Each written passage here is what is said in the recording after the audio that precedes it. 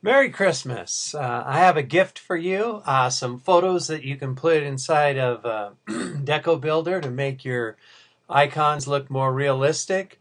Uh, first thing you need to do is open up a browser and go to decobuilder.com. Once you're at decobuilder.com, you'll see uh, underneath the Merry Christmas there's a balloon uh, Photos button. Go ahead and click that. It opens it up and it wants to download it to my downloads, but I got so much stuff there. Don't even know where it is. So I always like to use my desktop.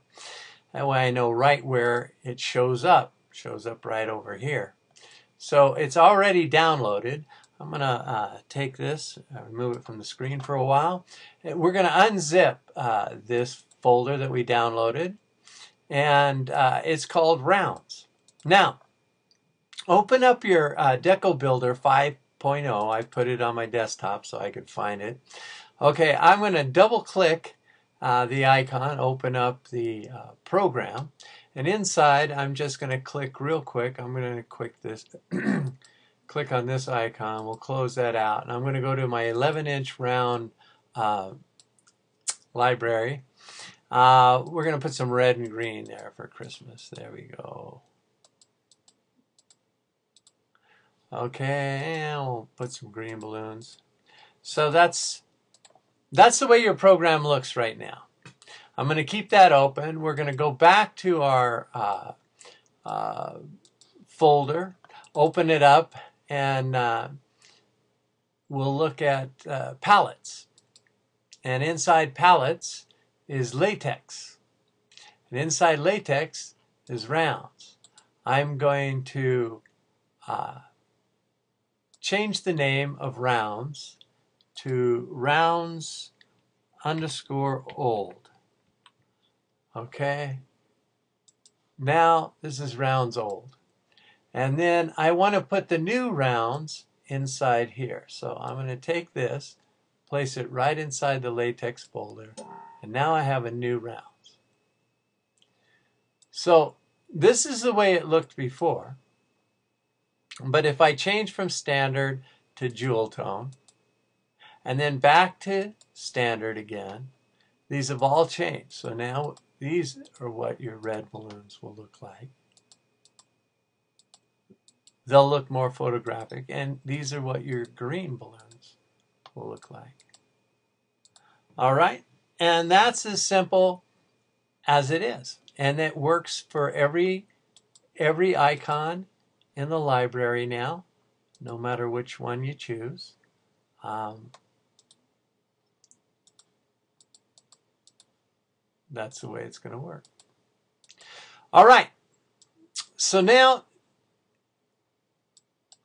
for those of you who don't own, you can use, and you can use these photos. Okay, Inside the rounds is uh, are these photographs, and these aren't photographs because I didn't have agates to take photographs of. But all of these photos can be used inside of Illustrator or whatever uh, software uh, you own. So anyhow, that's my gift to you. Now, for those of you who don't own um, Deco Builder, um, if you'll if you'd like to purchase this is this is just for Christmas. So I'm going to go under Deco Builder uh, button. There's a wow there. Take it out and put Merry Christmas. M E R R Y Christmas C H R I S T M A S. That's capital M and capital C. Okay. After you do that, go ahead and click the Deco Builder button and it'll change the prices. So it's dropped from balloon grids dropped $10. This has dropped almost uh, $25, $25 here, $50. So um, if you make your, your purchase, go ahead, click there. And so that's the special. And then come down here, download your Princess, make sure that you can, um, that this software works for you.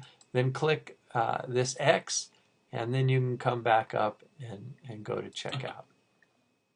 Okay, it'll take you to PayPal. Once you get it, go ahead and instant message me on Facebook, and I will. Um, I I check Facebook more than I than I do my email. So uh, if you purchase it, instant message me on on Facebook, okay?